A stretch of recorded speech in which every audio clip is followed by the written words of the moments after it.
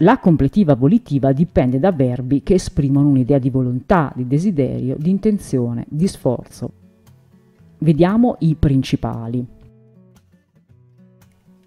La completiva volitiva può dipendere da verbi che significano esortare e ammonire, come moneo in questo caso, eduos monui ut in amicizia popoli romani permanerent, dice Cesare, cioè eh, ho ammonito gli edui, ho esortato, consigliato gli edui a restare amici del popolo romano. La volitiva può dipendere anche da verbi come suadeo, persuadeo, come in questo caso, che significano appunto persuadere. Orgetorix civitati persuasit, orgetorige convinse il popolo a uh, uscire dai propri territori con tutto l'esercito.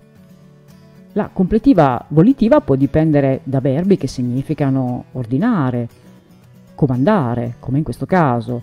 Tibi impero, dice Cesare rivolto a Labieno, ti ordino, ut elveziorum impetum excipias Labiene, di contenere, di, di fronteggiare l'impeto dell'assalto degli Elvezi, Labieno.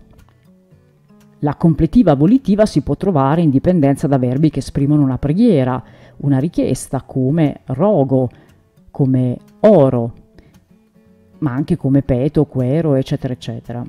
Vos rogo ne verba mea neglegatis, dice Cesare rivolto ai suoi soldati, vi chiedo di non trascurare le mie parole.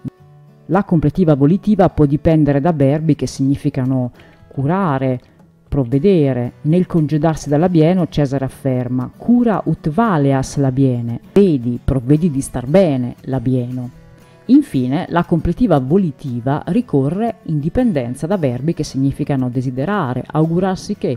L'Ambieno confida le sue speranze a Cesare in merito al passaggio degli Elvezi nel territorio dei Sequani. Opto dice mi auguro né illa gens hoc permittat Cesar, che quel popolo non permetta questo, cioè non consente il passaggio degli Elvezi.